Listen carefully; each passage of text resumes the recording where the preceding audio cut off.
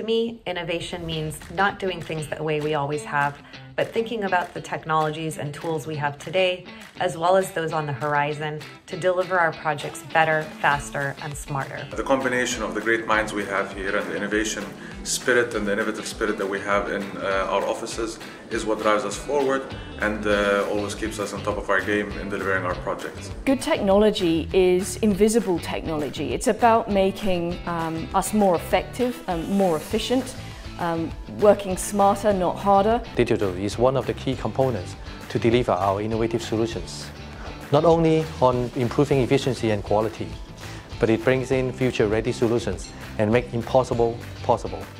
Innovation is the delivery of equitable infrastructure through business transformation. It's the ability for us to visualize complex decision making in all its multitude of factors. And by doing so, we can accelerate transformational outcomes for our clients with positive impact on society.